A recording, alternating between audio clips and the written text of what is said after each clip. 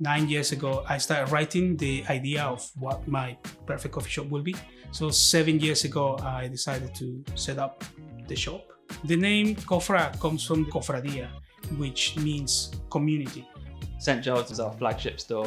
The other two shops are more based in neighbourhoods, so they're much smaller, based around the community and the people, and it's like right outside people's homes. So I think they really feel a part of it there.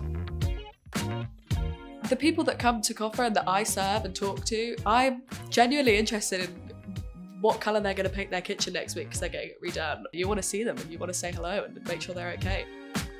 I think our customers come back because they get really excited about the coffee. So we have the relationship between us on the bar and Jose Roasting. I think we've got it really good at the moment and we're putting out killer espressos. Our main focus is specialty coffee. It's something that everybody that works with Kofra is really passionate about. But over the years, it's kind of evolved and we've introduced more products like wines and beers. And we just kind of strive to serve what we love and be honest about it. Specialty coffee means traceability. It means that we know where the coffee comes from, what the name of the producer is, and try to get an understanding of the origin. I don't think there's anywhere that's doing what we're doing. And so I think for people that want to see something new and exciting and interesting and talk to people that really care about what they're doing, then I think this is one of the best places to do it.